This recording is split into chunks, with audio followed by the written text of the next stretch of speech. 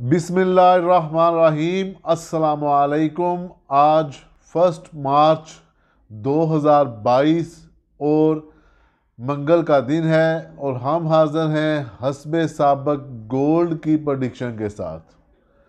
Gold को predict करने से पहले कल का रिव्यू कर लेते हैं। कल गोल्ड 1921 पर ओपन हुआ। ऊपर 1935 का हाई लगाकर नीचे अठारह सौ बानवे का लो लगाया और क्लोज 1900 पर हुआ।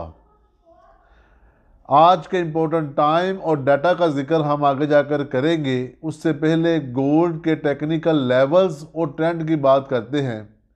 आज सुबह गोल्ड 1909 पर ओपन हुआ 1901 का लो लगाया और इस टाइम मार्केट तीन पर चल रही है। मज़ीद आपके वीडियो देखें ताकि ऊपर नीचे हो सकती है।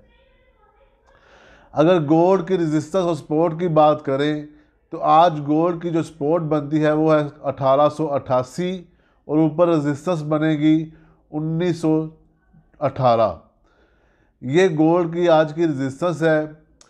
अगर आज के इम्पोर्टेंट टाइम और डाटा का ज़िक्र करें तो आज यूएस से तकरीबन पाकिस्तानी टाइम के मुताबिक छः बजकर तीस मिनट से लेकर आठ बजकर तीस मिनट तक का टाइम अहम रहेगा। इस टाइम में यूएसए के फाइनल मैन्युफैक्चरिंग पीएमआई नंबर्स हैं और यूएसए के आईएसएम मैन्युफैक्चरिंग पीएमआई नंबर्स हैं। अगर इनको देखा जाए तो सबसे अहम जो है वो यूएसए के आईएसएम मैन्युफैक्चरिंग पीएमआई नंबर्स ही रहेंगे।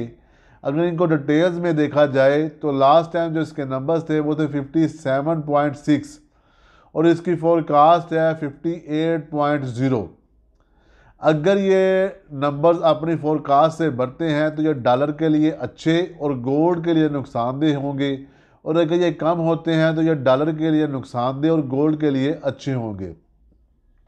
लेकिन मेन जो न्यूज़ है, वो रशिया और यूक्रेन के माबैन जो जंग हो रही है, वही न्यूज़ अहम रहेगी। गोल्ड का इस टाइम ट्रेंड फ्लैट है, लेकिन माइल्ड पॉजिटिव है। गोल्ड लग रहा है, जैसे गोल्ड पॉजिटिव हो जाएगा, ऊपर मज़ीद चला जाएगा। इसलिए सेलिंग से थोड़ा अवॉइड करते हुए अगर आप कोई ट्रेड लेना चाहें तो एक अच्छे स्टॉप लॉस के साथ आप बाई कर सकते हैं। ये टाइम बाइंग का है। लेकिन चूँकि फंडामेंटली गोल्ड चल रहा है, इसलिए बगैर स्टॉप लॉस के काम करना थोड़ा सा रिस्की हो सकता है। इसके अलावा अगर आज के फेबोनेशी लेवल्स की बात की जाए तो आज के फेबोनेशी के लेवल्स ये है 1909 पीवट पॉइंट है।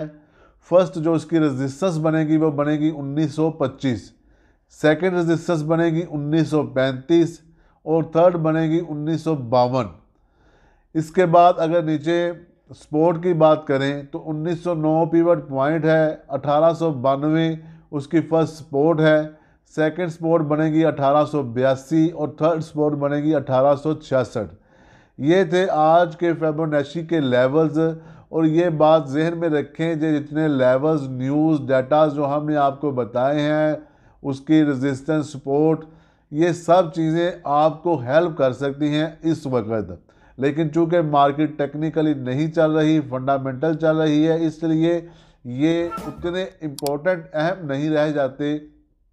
अगर कोई न्यूज़ आती है, वैसे ये न्यूज़ में भी अपना काम करते हैं, अपनी एक हसीियत रखते हैं।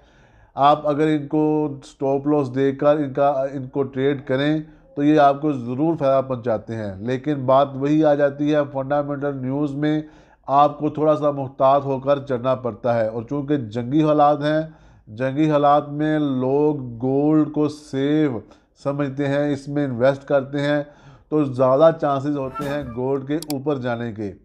इसलिए कोशिश करें आपको अगर कोई बाई की अपॉर्चुनिटी मिलती है तो उसको अवेल करें, ना कि सेल की अपॉर्चुनिटी को। आप देख रहे हैं, पिछले वन वीक से गोल्ड बाइंग अपॉर्चुनिटी में काफ़ी हद तक लोगों को अच्छी प्रॉफिट दे रहा है। इसलिए कोशिश करें कि जब भी आपको कोई बड़ी अपॉर्चुनिटी मिले तो एक अच्छे स्टॉप लॉस के साथ उसको अवेल करें ताकि आप इसके बरक्स कुछ लोग सेल की पोजीशन भी ले रहे हैं। सेल इस टाइम थोड़ी सी रिस्की है, इसलिए कोशिश तो यही होनी चाहिए कि आप सेफ़ रहें और ज़्यादा बड़ा स्टॉप लॉस मत दें, क्योंकि जब मार्केट न्यूज़ में चलती है तो फिर उसके लिए कोई भी बड़ा स्टॉप लॉस स्टॉप लॉस नहीं रहता। ये थी आज की वीडियो। उम्मीद है ये वीडियो आपको पसंद आई होगी। अगर हमारी वीडियो पसंद आए तो हमें लाइक करें शेयर करें और सब्सक्राइब करना मत भूलें। अस्सलाम वालेकुम